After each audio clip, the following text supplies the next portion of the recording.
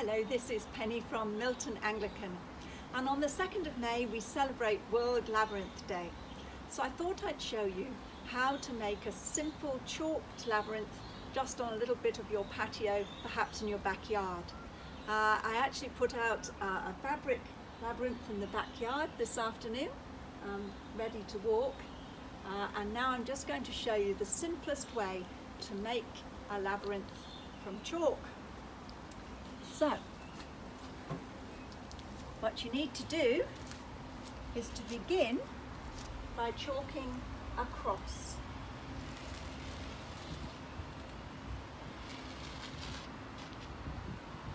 And then you're going to make four little corners, just like this.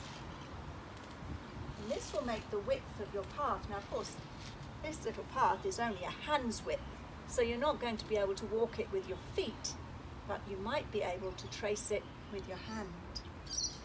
So you make the four corner pieces, just like four little window frames really. And then you need four dots, one in each corner, just like this. I was making it on the ground with some fabric. I marked those points with something like a tennis ball. And that pattern there is sometimes called the seed pattern and you can find it elsewhere on the internet. This is the wonderful bit. You begin at the top of the cross and you're going to draw from the top of the cross and join up to the next thing to the right, which is just over here. And this will mark the center of your labyrinth. So from the top of your cross to the next thing to the right.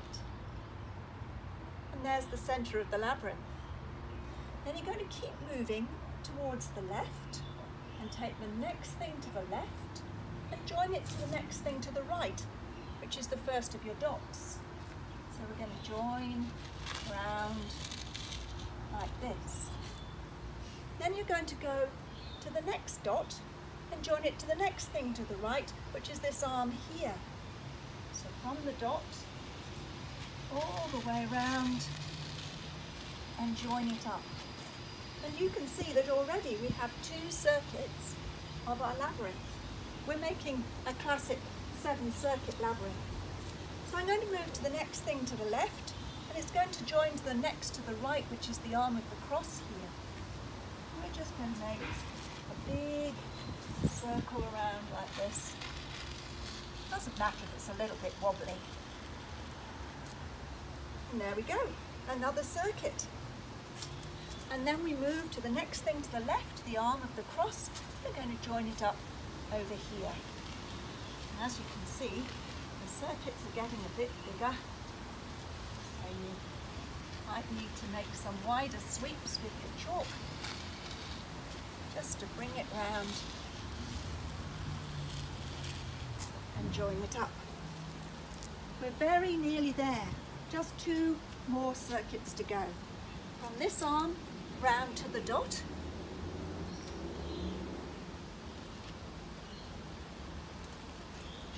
I think I've said that wrong. I think there's three more. But we'll keep making a wide circuit round here.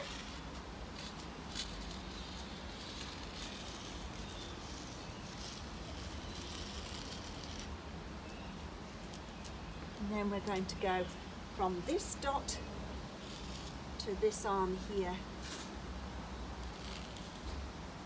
And as you can see, it doesn't matter. You need to take a few goes just to make the pathway clear. And probably in all this labyrinth's going to be just a couple of metres or so square. So you don't need a big patio. There's a little bit of stick just in the way there always need to move the things out of the way of your labyrinthine path. You can round it off a little bit. So we're nearly there. We're just about to make the last circuit of our labyrinth, joining this end to this end with one final circuit.